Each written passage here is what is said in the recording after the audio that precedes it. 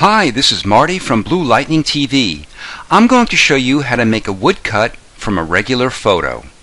This document is 1350 by 1100 pixels with a resolution of 150 pixels per inch.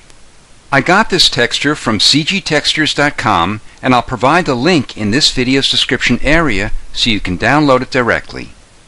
Open a document of a photo of the person you'd like to make into a woodcut. We need to make a selection around her head in order to cut it out from the background.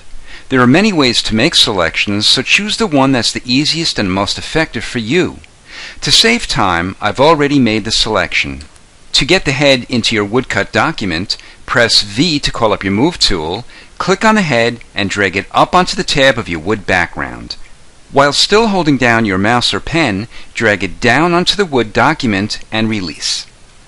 To resize and reposition it, press Ctrl or Command plus T to call up your Transform tool. To see the entire transform on your screen, press Ctrl or Command plus 0. To reposition it, click inside the transform and move it. To make it smaller, go to a corner, click and drag in. Continue resizing and repositioning it until you're happy and then press Enter or Return. The next step is to remove all the color from the photo. To do this, press Ctrl Shift U or Command Shift U on a Mac. Fit the image onto your screen and then go to Filter and Filter Gallery. The Filter Gallery window will open. Open Sketch, choose Photocopy, and I'll choose 15 for the detail and 19 for the darkness. Depending on the size, resolution, and characteristics of your photo, you may want to use different numbers. Let's reverse the foreground and background colors. Click on the double curved arrow or press X.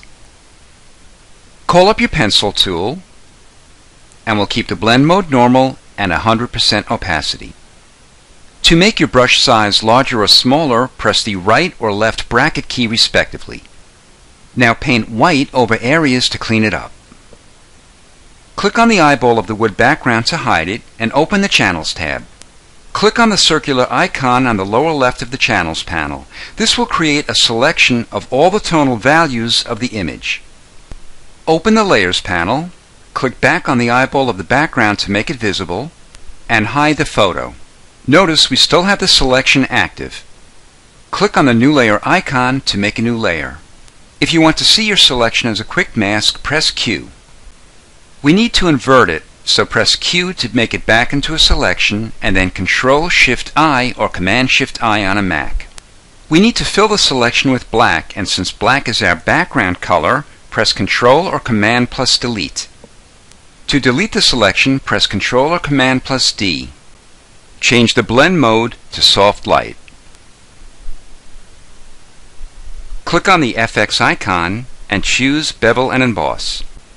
Make the style inner bevel, the technique smooth, and the depth 300%. Make the direction down and the size 4 pixels. Remember, depending on the size and resolution of your photo, you may want to change these numbers. Let's add some text. Call up your Type tool and click on the Character Text box. If you don't see it, go to Window and choose Character. I'm choosing a font called KG 10000 Reasons, which you can download for free at dafont.com. Click on your document and go to the T icon that has the vertical and horizontal arrows. When you click it, it makes your text either vertical or horizontal. Since we had it originally horizontal, it'll change it to vertical. Type out your text. To move it, call up your Move tool, click on the text and move it. Slide the fill to 0 and click on the FX icon. Choose Bevel and Emboss. The style is inner bevel and the technique chisel hard. The direction is down and the size 90 pixels. Make the highlight opacity 100% and click on the color box for the shadow. Choose a dark brown, click OK, and close the layer style window. Have fun making a photo of someone you know into a woodcut carving.